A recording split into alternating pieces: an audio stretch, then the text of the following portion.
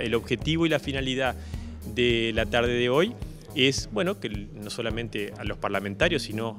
la ciudadanía toda que está representada por estos parlamentarios puedan de alguna manera eh, reconocer y valorar lo que fue la vida y el legado de Jacinto Vera. El significado de la beatificación no solamente abarca a los creyentes,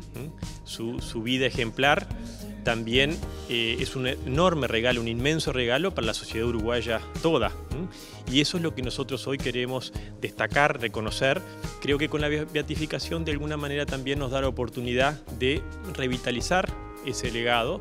y, bueno, de alguna manera eh, tomar conciencia de que mucho de lo que somos ahora tuvo que ver con aquellos valores sembrados, aquellas virtudes este, practicadas, y eso es lo que queremos rescatar y reconocer. Y su misión estaba eh, en función de las necesidades de ese momento. Eh, tanto la reforma del clero como la misión,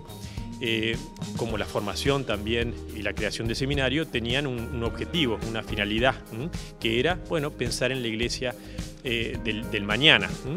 Y él lo hizo eh, precisamente para responder a esa necesidad con una convicción eh, y una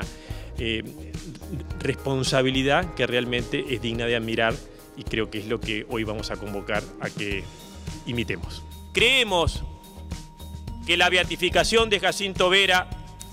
aparece como un regalo extraordinario, un inmenso regalo que entendemos no puede pasar desapercibido. Porque no solo nos ofrece un testimonio de alguien que vivió las virtudes humanas en grado heroico, sino también virtudes cívicas, de humanidad y de compromiso pleno con el bien común. Pero también aparece como una luz de esperanza, que nos muestra lo que somos capaces las personas cuando nos animamos a salir de la mediocridad, de la indiferencia y nos animamos a vivir una vida significativa para los demás. Creo que es mucho más sensato aprovechar los legados como el de Jacinto Vera, que nos muestra que las sociedades democráticas como la nuestra, como la oriental,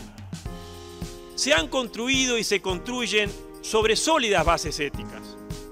y que estas bases éticas solamente pueden lograrse en base a la práctica de las virtudes ciudadanas y al poder de la ejemplaridad pública que nos legó Jacinto Vera.